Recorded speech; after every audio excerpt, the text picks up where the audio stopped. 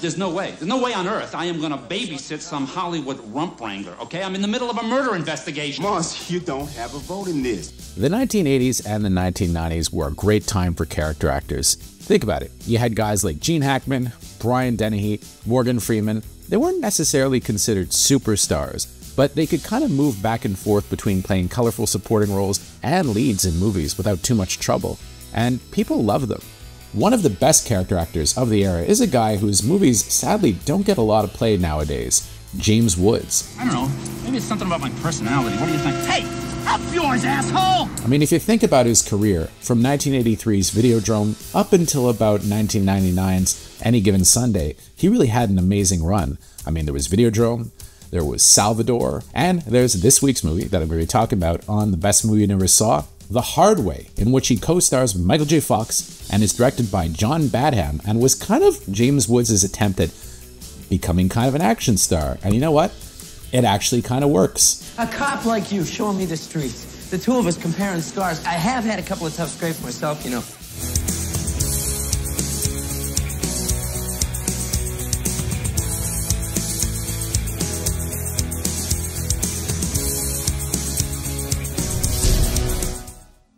Those eyes. That's Ray Kazanoff. That's the face of a man who's been to the edge. That's the face of a man who's, who's tasted fear. Now, James Woods isn't necessarily the most popular guy on the internet anymore, and in fact, he seems to be mostly known for being a Twitter blowhard. It's D for drive, shitheads! Then, the great character actor we all know him to be. The Hard Way, in my opinion, is one of his most underrated and effective films. It came along at a great time in James Woods' career, and in fact, about a year later, James Woods would actually satirize the plot of this movie on a classic episode of The Simpsons when he goes undercover at the Kwik-E-Mart in order to learn what it's like to be a convenience store clerk. Freaking no good mother. Jeez. It's a play on the movie's kind of intriguing premise, which puts a spin on the classic buddy cop movie formula. So James Woods in the film plays a New York cop named Moss, who's after a serial killer named the Party Crasher, played by a bleached blonde and very muscle-bound Stephen Lang. I'm smart. I'm better. Than you are. He's injured in the line of duty, but his antics make the news where he's noticed by a big-time Hollywood movie star named Nick Lang, played by Michael J. Fox. I hate that guy. Now, Nick Lang is kind of sick with being this box office pretty boy, and he wants to be taken seriously as a movie star and an actor. You don't want me to grow up. The studio doesn't want me to grow up. I'm the only one who wants me to grow up!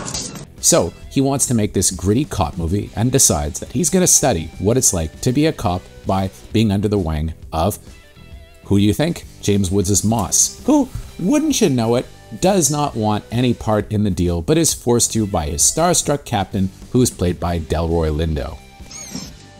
Not if you tied my tongue to your tailpipe and drove me 80 miles an hour naked across a field of broken glass. No, no. Is this about the actor? So, this movie is actually directed by one of the most underrated guys from that era, and his name is John Badham. Now, I know what a lot of you may be thinking who is John Badham? But back in the 1980s, this guy had a great run of films. I mean, Saturday Night Fever, 1977, one of the best movies of that era, I think. It's a classic. Then he did Blue Thunder, War Games, Stakeout, another Stakeout. Well, okay, maybe another Stakeout isn't that good, but I mean, Stakeout, Stakeout's great. And I, he made another movie just before this that I kind of like too, called Bird on a Wire, which paired Mel Gibson and Goldie Hawn and was kind of an interesting action comedy. And in fact, that was the genre that I think was really his forte, because John Badham did something interesting. His movies would be funny, but the comedy would more or less emerge from the fact that his characters were often, you know, mismatched, and the humor in the films would emerge from that. Let's get on the same page here, okay? I'm sensing that you're not completely happy with this situation. Before we continue with our video, here's a reminder to click the Store tab on any of our JoBlo channels and browse our collection of the latest and freshest designs in our merch store. Go get you some. The action in these movies was usually dead serious. And I mean, if you watch even a movie like Stakeout, which is ostensibly a comedy, it has really good action scenes and is kind of intense at times. The Hard Way probably puts the emphasis more on action than any of his other films, but it's a great one. In fact, I'd say that the action scenes in The Hard Way are surprisingly potent, with Woods slimmed down for a shot at being an action star, and he makes for a convincing and intense hero. The same thing goes for Fox's Nick Lang, who never really becomes a joke. Sure, he's a kind of a weakling when the movie starts, but as it goes on, he becomes a little bit tougher and more heroic, with him getting a great action sequence where he pretends to be totally unhinged in a very Mel Gibson like fashion when he's taken hostage by the party crasher.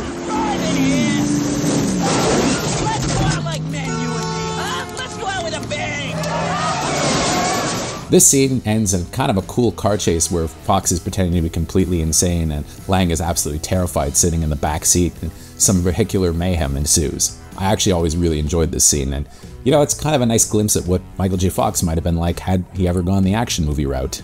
It's my life. One of the other things besides Woods and Fox is that Stephen Lang is great in this film as the party crasher. Hello there. It's me again. Well, what can I say? I'm about to crash another party. I really like his kind of menacing look, and he's very intense and completely insane. He looks like a capable physical threat for both guys, and I mean, I almost feel like Fede Alvarez maybe saw this movie when he was casting Don't Breathe, and maybe that's why he ended up starring in the film, because Stephen Lang really is memorable in this. Indeed, this movie is very well cast. While Woods probably isn't anyone's idea of an action hero, given how his fast talking nature always had a narcissistic, villainous edge to it, casting him against type here really works. Moss is supposed to be an insecure, macho mess of a man with him trying to woo a divorcee, played by the lovely Annabelle Sciorra. I used to have a speech impediment, you know, I couldn't say no. whose daughter, played by a very young Christina Ricci, absolutely hates him. The nearly psychotic vigor he attacks his duties with make him a pretty interesting lead, and the fact that he's not an invincible Superman makes him all the more appealing. We live this job. It's something we are, not something we do. His attitude is what makes the film, in my opinion. Michael J. Fox is just as good, even if I have to say this is definitely James Woods' movie through and through. Starting a little early there. Again, Nick Lang is wimpy at first, but he doesn't become too much of a joke. Fox brings some heart to the role, such as a heartbreaking moment when he thinks that Moss has taken the rap for him on a shooting, but he's really just being set up as a punchline, and it's a way for them to get him out of the precinct while they all focus on the real police work. You were never here, you understand? You were never here. I was never here. Their chemistry is pretty good, with Woods noting many times while promoting the film that he actually found it very challenging playing a character that's supposed to be annoyed by Fox, as he found him very likable and quite charming as a co star. He doesn't belong here. He belongs in Never Never Land with his personal trainer and his maid and his God knows who all, the guy who wipes his ass after he pinches off his daily loaf, okay? Indeed, Fox's likability may have been what doomed this movie at the box office, as in 1991, of course, he was coming off of the Back to the Future films, Doc Hollywood, Secret of My Success. I mean, these weren't particularly gritty films, although he definitely did try to stretch a few times, but the results usually weren't very good. I've disgraced my whole family. Oh, the hell you did. Not funny. Okay, this is not a funny moment in my life. Bright Lights Big City was widely considered a bit of a disaster, and he did do a really good movie called Casualties of War in 1989 for director Brian De Palma, but the movie was completely stolen by his co-star in it, Sean Penn, who kind of chewed the scenery mercilessly. Same thing kind of happens in The Hard Way. I mean, when you put a low-key guy like Fox up against these powerhouse character actors, mm, he can't help but get a little bit dominated by them, right? Hey, if you can't trust your partner, who can you trust? As a kid, I remember really being excited for The Hard Way, even though the trailers definitely made it look more like a comedy than an action film. In fact, I was surprised when I tried to go see this movie in theaters and saw that it was rated R. My parents didn't care, they were pretty laid back, and I could have definitely gone to see it. Only problem is, the sucker working behind the ticket window didn't want to let me in because, oh well, I was only 10 years old. But hey, I wanted to see my action movies, and they wouldn't let me, so I had to wait for this thing to come out on home video. And everybody knows VHS is not as good as seeing a movie in theaters, so I've always been a little bit bitter about missing the hard way in theaters. Thank you very much, cashier at the Pointe-Claire Plaza in Montreal. I guess a lot of people got shut out of seeing this movie because it didn't do very well in theaters. It only made about 25 million domestically. That said, it was actually a hit overseas with it more than doubling its lackluster box office. It also became a smash on home video and then on TV, with it oddly bypassing HBO to have a TV debut in a highly censored version on NBC, which I hated as a kid because all the F bombs were taken out. Watching it now, I think the film holds up quite well. It's stylishly directed by John Badham, and the supporting cast is really good. I mean, you got an early role for Delroy Lindo as Woods' starstruck captain, and you got LL Cool J as a cop. Nikki, baby, you sharpshooter, we heard about you. Now, here's a funny story LL Cool J wasn't really supposed to be in this movie a lot. He was just supposed to have a walk on because they wanted the rights to his song Mama Said Knock You Out. So, what happened was, as soon as they got LL Cool J in front of the camera, they realized that the guy was very charismatic and seemed to be a natural. The camera just loved him, and he had a real kind of easygoing way with the dialogue, so they added a bunch, and now he's one of the co stars of the film.